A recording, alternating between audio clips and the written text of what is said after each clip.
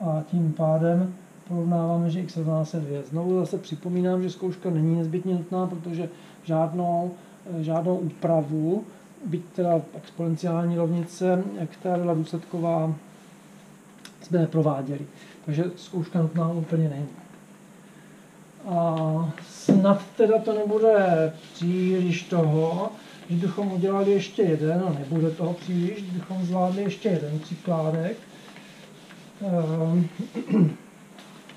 třeba teda trojka, a teda napsané na listku, trojka, která říká, že 3 na 2x plus 6 krát 3 na x plus 6 krát 3 na x rovná se 7.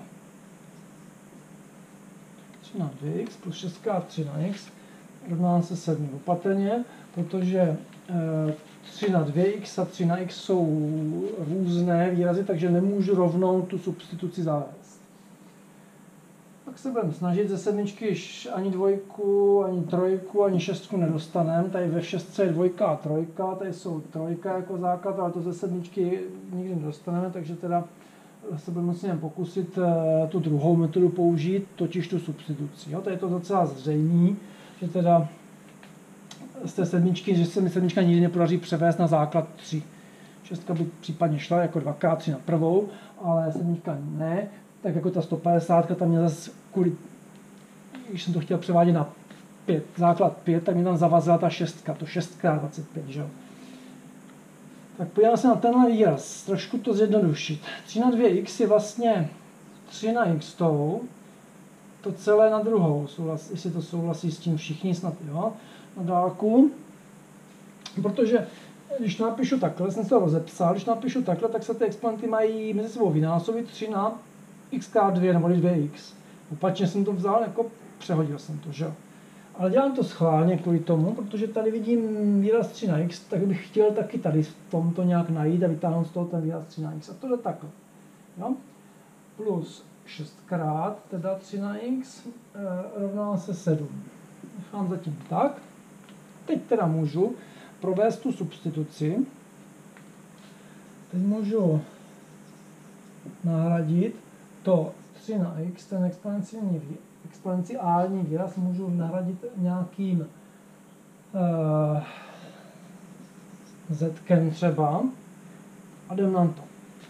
z na druhou plus 6 krát z rovná se 7. Mohlo by vám to pěkně připomenout, že to teda vypadá to jako kvadratická rovnice. No však jo, když ještě si ji anuluji, tu sedmičku si převedu semka na tu levou stranu a mám z na druhou, plus 6z minus 7 rovná se 0. Teď to dobře, vyřeším to jako kvadratickou rovnici. Vidíte, že u exponenciálních rovnic nebo u složitějších rovnic se dostáváme k tomu, že potřebujeme ty rovnice, které, kterým jsme se věnovali dřív, na základní škole na kvadratickým potom loni teda, byť teda loni na jaře, bohužel, tak e, pustíme se teda do té kvadratické rovnice jako z1, 2, třeba bych to udělal asi teďka vzorcem, pro, který používá diskriminant, je méně b minus 6 plus minus odmocnina b na druhou, 6 na druhou je 36, minus 4 krát 1 je minus 4 krát 7, krát minus 7 je plus 28, 36 plus 28, pomeno 2a, 2 krát 1 jsou 2, když to napíšu semka ještě, tak to je 56 a 8 je 64, že jo, minus 6 plus minus odmocnina z 64, to je pěkná, příjemná odmocnina lomeno dvěma. Pokračování dole rovná se minus 6 plus minus 8 polovin, což se rovná teda minus 6 plus 8 je dvě poloviny, jeden z kořenů bude 1 a e, minus 6 minus 8 je e, minus 14, polovin je minus 7. Nejsme u konce zase, protože počíta, eh, máme spočítané z a přitom proměna, která ta rovnice byla, má být řešena x, tak teda musím jak jeden kořen, tak druhý kořen dosadit zase eh, semka zpátky do té substituce. Budou dvě, dvě, bych řekl, dvě, dvě dva kroky, dva jsou upečky, dva postupy na získání jedno, toho jednoho x.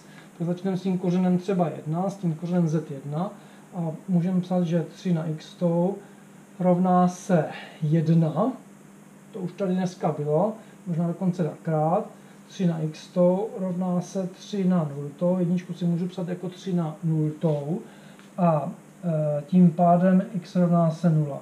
To by určitě fungovalo, e, to je nepochybně jeden z kořenů.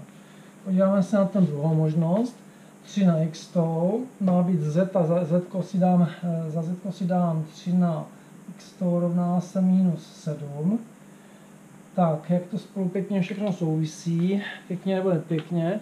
Eh, když si představíme teďka graf exponenciální funkce y rovná se 3 na x, tak víme, že takový graf celý, celá, celá ta exponenciála se nachází, která není nikam posunutá ničím, takže celá ta exponenciála se nachází na, nad osou x, to znamená, že tyto hodnoty, každé Každý, každá hodnota exponenciálního výrazu 3 na x je e, kladná, nikoli dokonce nezáporná, ani nula to není. Takže můžu směle prohlásit bez ničeho, ale jenom s, rozhodnutím, s vědomím, teda, že si uvědomuji, jak to ta exponenciální funkce, jaký má průběh, jak to tam vypadá, že teda tato rovnice e, žádné řešení nemá. Mohli, by, mohli byste si lámat na hlavu nad tím, teda dobře, e, ty jste se měli tu rovnici složitější a tady ta trošku zjednodušená, ale taky je to problematická rovnice někdy nejjednodušší, bych řekl, rovnice mají teda eh, jakoby na přemýšlení dlouho mm, těžké řešení,